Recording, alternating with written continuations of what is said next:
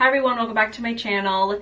In a couple of my more recent videos, I've talked about filming a video where I unfollow the makeup brands that I'm following on Instagram and I'm actually doing it. I'm doing that today. Because I'm not buying makeup this year, I really don't want to be influenced to purchase any makeup. I feel like right now I seriously have like no desire to purchase any beauty products anyway. I feel like it's not that big of a deal if I like see makeup but I just don't really want it in my face anymore. Also, I really want my relationship with brands to change. Like brands are not your friend, brands are not my friend, and I just don't really feel like following them anymore. Another thing I need to still do is unsubscribe to emails and I'm going to do that this weekend, but I'm just going to be focusing on unfollowing those brands today from my Instagram. I also have my Mr. Rudy here. Hey Roots. Hey Roots. Rudy's doing so, so well. He's a little annoying, but don't we, don't we like chihuahuas that way? I really feel like I've done a good job just in the past because the way that I'm feeling is not new. Like I've been feeling this way for a little while. So I've definitely cleaned up my following quite a bit. Gosh, I really am like, what even do I follow? Maybe this is like in a certain order because I'm seriously like not seeing any. Bread Beauty Supply, I am going to continue following Bread Beauty Supply. I currently have a partnership with them through Instagram. So I am going to continue following Bread. I'm not as concerned about like skincare and hair care, but definitely any like makeup brands I'm unfollowing today. Okay, first up, Phytosurgence. I am going to be unfollowing Phytosurgence. I've never tried anything from this brand before. I know a lot of my like influencer mutuals. Really, really love this brand. I think that they make cute stuff. Yeah, unfollow. Just gonna go ahead and unfollow Urban Outfitters Carolinas. This gel cream account, I don't know who runs this. I don't really even remember following this account, but it's very, very product heavy, so I am just gonna go ahead and unfollow it. Kosas, love my Kosas Revealer Concealer, but yeah, I just don't need to be following I just don't need to be following them. Oh, follow back. Ooh. Troop or Trope Beauty. This was a clean kind of beauty retailer that I had a little bit of a relationship with a couple of years ago, but I don't I don't ever see any of their yeah, the last time they posted was August 6th of 2021. So almost like a year and a half they haven't posted. So unfollow. Minori Beauty, they have like blushes and a highlighter and a gloss. Their collection of stuff is really small. I do appreciate that about brands when their collections are kind of small, you know, there's not a lot of excess. So that's kind of nice about this brand, but yeah, I'm just gonna unfollow them. Next we have Undone Beauty. Undone Beauty's had a few recent launches, like these over here. I kind of like so when I see something like this, it does make me wish I could try it for sure. But oh, the oh, I didn't see that. A little brow clear brow gel. Okay, well, anyway, I'm unfollowing them. Just, yeah, don't need to see it. Mob Beauty, another brand I do really enjoy. See, like the brands I'm still following on Instagram are brands I really do enjoy. Like I don't think I'm following like Tarte or Urban Decay. Like I, I might surprise myself. Like maybe I still am. I have no idea truly. But yeah, like Mob Beauty, I do enjoy them. And uh, like I don't not enjoy makeup content, but like I said, like brands are not my friend and I just don't need to be following them. So unfollow. This is Propa Beauty. What do they do? I don't, I don't think I even know. Okay, unfollow. Look Fantastic. I've worked with Look Fantastic a couple of times. They're an online beauty retailer, but unfollowing them. MTU NYC is a really, really affordable beauty brand. I don't know if any stores carry them in person, but I purchased my stuff from them online. I don't really use my stuff as much as I wish. I definitely really like the blush formula and I would like to use it more this year. But yeah, I'm gonna unfollow them. Milk Makeup, definitely one of the bigger brands, but yeah, we're gonna unfollow them. Okay, now I'm getting to more actual brands. So 14E Cosmetics. I've never tried anything from this brand before. I just follow it, I'm sure, because like the aesthetic and it looks like something I probably would like. But yeah, gonna unfollow. Not not planning on trying it this year, obviously. Pacifica Beauty. I like a lot of things from Pacifica. It's a, you know, great drugstore brand, but we're unfollowing. Milani Cosmetics, really like up there with one of my favorite brands. Milani and e.l.f. are like my favorite brands. But yeah, unfollowing Milani. I follow the Fur account, which I don't need to follow them either. Haley's Beauty, I've never tried anything from Haley's Beauty before, but definitely some of their products have piqued my interest in the past. I don't know why I ended up not making a purchase, but yeah, well, just go ahead and unfollow them. Tower 28, such a cute, beautiful, quality makeup brand. I really enjoy a lot of their things. Their mascara is like one of my favorites right now. Um, I love this SOS spray, but we are unfollowing. There are no exceptions. Yuzu by You, Uzu by You, something like that. This brand has always kind of interests me too, but I've not tried anything from them. Um, and yeah, I, I just I just won't be this year either. So I'm following them. Get Rael. I worked with Rael Beauty a few years ago. Their skincare is really, really quality and I do love those pimple patches. Those are like a staple stocking stuffer for me. Um, but yes, I'm unfollowing them. Exa Beauty, they're sold at Credo Beauty, Ulta Beauty, probably another one too. Um, oh, I guess they're sold at JCPenney. But yeah, I just have their foundation and I do like it. I don't really wear it that often and super unnecessary for me to be following them. Beauty Care Naturals. This looks like another brand I probably just followed because of their aesthetic, but like I'm even looking at this and the packaging to me just looks a little cheap. Like I, how much are these products too? They're probably not, they're probably not cheap. Oh, $25 for eyeshadow palette. That's like not too bad, but it's a quad. Um, but yeah, unfollow. Integrity Botanicals. They sent me some Kjaer Weis stuff to try a couple of years ago and honestly, I did not really like that brand. I thought that it was just not very good quality. I'm sure like the ingredients are fine, but the actual application and wear of those products I was not loving. And the shades too, not loving them. And they're so, so expensive. But yeah, Integrity Botanicals is a clean beauty retailer but we just don't need to follow it. Citizen Cosmetics. This is another brand that I followed because I just liked the brand, but I've never tried anything from them before.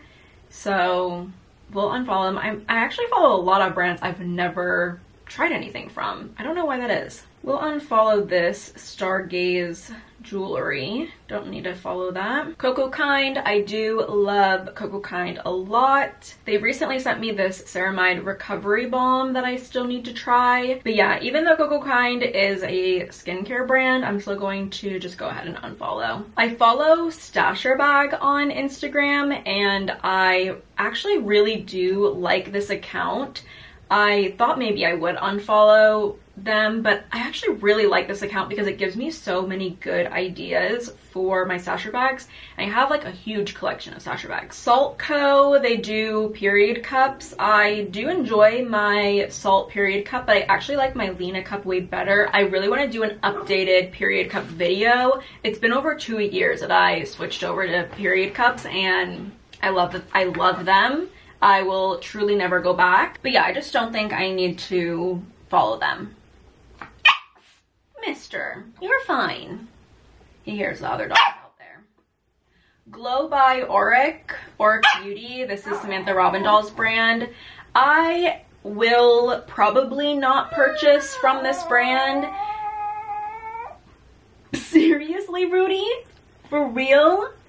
I love Samantha Ravndahl. Truly, really, really, really do love her. I think that the brand is really expensive.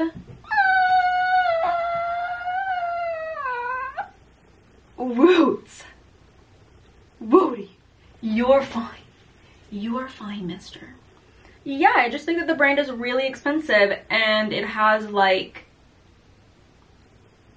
no credibility except for the fact that it is founded by Samantha Ravndahl, which sure that could be credit enough for some people, but like I just can't imagine this being a brand that someone just like in passing has no idea who Samantha Ravndahl is would see and be like, "Oh wow." But I mean, I think that I think that they're beautiful. Like like this is products are are really really beautiful, but yeah, I just, I also just think it's so expensive.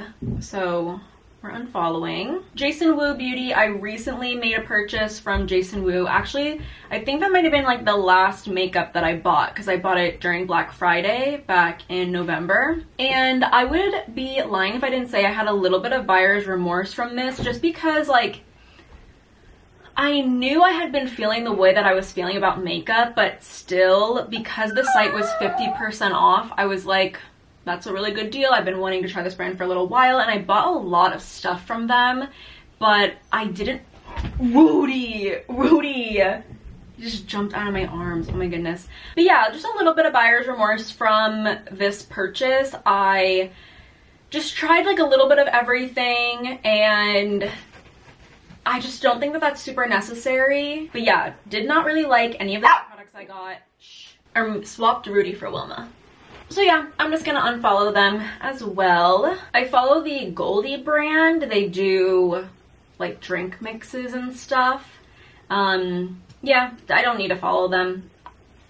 Just don't need to follow them. Ere Perez Beauty. A few years ago, I was sent some Ere Perez things and I did enjoy what I had, but pretty much everything that I've owned from them has gone bad. So yeah, that's the thing with clean beauty. Like clean beauty kind of made the whole like preservatives and makeup is bad for you craze, but preservatives and makeup makes makeup last longer, like the shelf life is longer, which means you can get way more use out of your product. So I understand, I understand the want and the need to kind of like create beauty products and like things that you put on your skin with more clean ingredients, but I don't think that preservatives in your makeup are the enemy, you know? Um, I am going to be unfollowing them though. Luca and Grae. So something about me that you may not know is I am a huge Aspen Ovard fan, Aspen Ferris. I've watched Aspen forever, like ever since middle school. We've pretty much grown up together. We're like the same age. I think she's just a couple of months older than I am. But even though she has two kids now, and usually that kind of like relationship with like someone online changes once they have like a family and kids, I never ever feel that way about Aspen and she's like the only like family vlogger I watch even though I wouldn't really say that her content is like family vlogging content. Like her videos are not really about her kids. They're still very much about herself even though her kids are in the videos which I can imagine that transition of like being a daily vlogger and then having kids and then like deciding what you show of your kids. I could imagine that being like a little bit difficult, especially because her following, I'm sure, expects to see the children. But she has said that she does plan on eventually not showing her children in the videos like as they get older and probably like start to develop actual like personalities and like consciousness. I do definitely respect that. Obviously, I would love if she like didn't show her kids at all. But even with that being said, I think that her kids are adorable. little Cove and Lola. But Luca and Grae is her brand. That's the whole, that's the whole point. And I am going to be unfollowing the brand. I, I made one purchase. I think I wait, I think I made one purchase like over the pandemic. Yeah, don't need it. So I follow Sheertex. They do like indestructible tights and I own two pairs of them, really like them. I don't ever wear tights, but I know that like whenever I do need tights, I have actually really good quality ones that I won't need to replace. And yeah, I just don't need to follow them. I do follow Trend Mood. Oh, this is actually Trend Mood deals. Okay, we'll unfollow Trend Mood and then let's talk about actual Trend Mood. So I do follow Trend Mood. I know that that's extremely problematic of me. There really isn't like another Instagram out there that posts as much new releases as Trend Mood does. And I know that they also post new releases of really problematic brands. But yeah, still, like they post everything, like problematic and not like they post absolutely everything. Like they are the beauty news. That's why I've, I've, continued following them. I have unfollowed them before but then i started following them again. But i am unfollowing them now because i don't actually need the beauty news. So i follow suva beauty. They do those uh, liners that you just like add water to them. And i have a really nice collection of these and i really like them a lot. But we are unfollowing Mango People Cosmetics. Um, I've even gotten a few requests to review this brand. I definitely would love to try in the future. I feel like this would actually be a brand that I really liked, especially if I found like a shade that would be perfect for my lips and my cheeks. Really like products like that and I think that a product like that is very worthy to be in my collection. Um, but I am unfollowing. NCLA Beauty, I just have one lip scrub from them. I have no idea why I follow this brand. OGL Move, this is a like clothing brand that I saw an ad for one day and I made a purchase. Um, and I like their stuff okay. I feel like, I don't know, I messed some of it up by putting it in the dryer, which is so annoying because, I don't know, I do hang dry a lot of my clothes now, but I really wish that clothes could just like, could just deal with the dryer, you know? But yeah, we'll just unfollow them. Mented Cosmetics. I've tried a few things from this brand. I like the blush that I have, but we'll unfollow. LYS Beauty. I really like my bronzer from them, even though I haven't seen it in a long time. Their foundation is quite good.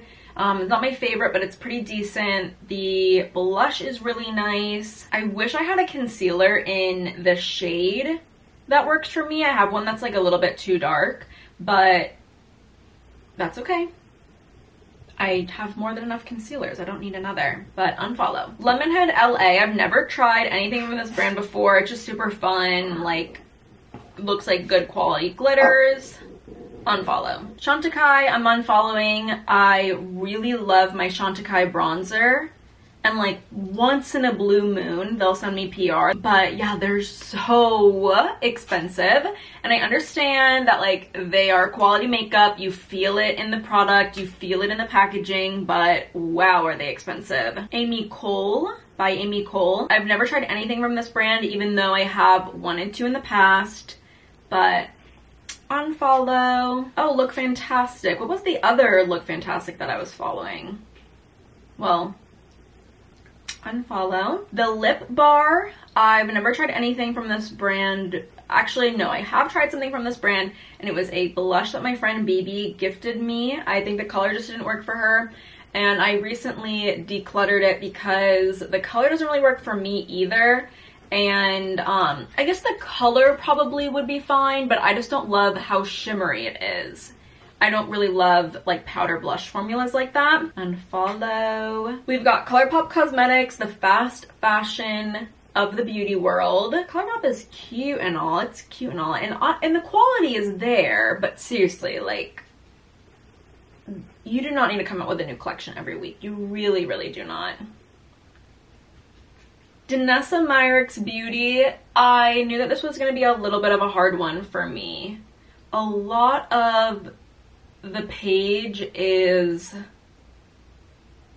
well, hmm, do I unfollow? I'm actually, I'm actually going to continue following Danessa Myricks because this is more of like a makeup artistry page. Ulta Beauty. Should I keep following Ulta Beauty? I worked there for like two years. Nah, let's unfollow them. e.l.f. is one of my favorite drugstore brands. It's actually probably like my favorite drugstore brand. I'm gonna unfollow them, but honestly, tag me if they release a product you think I'd like, just so I can check it out. I won't buy it, but just so I can check it out, because they are like on point with their launches. I pretty much want to try every single thing that they launch. Yeah, I'm just not going to this year. REM Beauty, honestly, what a joke of a celebrity beauty brand. Ariana, what are you doing? Sometimes it's okay to like not release a brand. Sometimes it's okay to not do that. Unfollow. Sephora, unfollowing Sephora if I was hesitant to unfollow Ulta Beauty, I am not hesitant to unfollow Sephora. We have Rare Beauty by Selena Gomez. This is a top-notch celebrity beauty brand, I will say, but unfollow. Oh, okay, well, that was it. That was all the beauty brands. Hopefully I didn't miss any, but I just went down my following. I really should have taken note of how many accounts I was following before this. I'm sure that honestly it'll be in the screen recording, but I was definitely following over 600 accounts and now I'm following 586 accounts. So yeah, we got rid of quite a few. That was nice and refreshing and I wonder how my Instagram feed will feel after this because a good bit of my feed is beauty and makeup. But yeah, I wonder if it'll like keep me from using Instagram too often. I don't know. We'll just have to see. I still need to go through my email list and unsubscribe to pretty much like every brand email, clothing included, because I actually don't need to see any of that. I hope that you also take the time to go through your following list and just get rid of anything, even if it's like not brand related, just get rid of anything that makes you unhappy to see and look at. I'm sure a lot of people still do this, but like it was very common to like just follow beautiful models, like perfect models on Instagram. But after a while, that really hurt me to see. Like it was really ruining my self-esteem. And I went through and unfollowed like pretty much everyone that was like super unnecessary for me to follow and it really did wonders on my self-esteem. So like even something like that i encourage you to unfollow anything that makes you feel bad or like just doesn't really bring you happiness. Like instagram can totally be for the friends again. But yeah i hope that you enjoyed today's video and you got something out of it even if it was just you know the enjoyment of seeing me chat about these brands. But thank you so much for watching today's video. I hope that you enjoyed. If you aren't already subscribed, definitely go ahead and do so. And hopefully I will see you next time.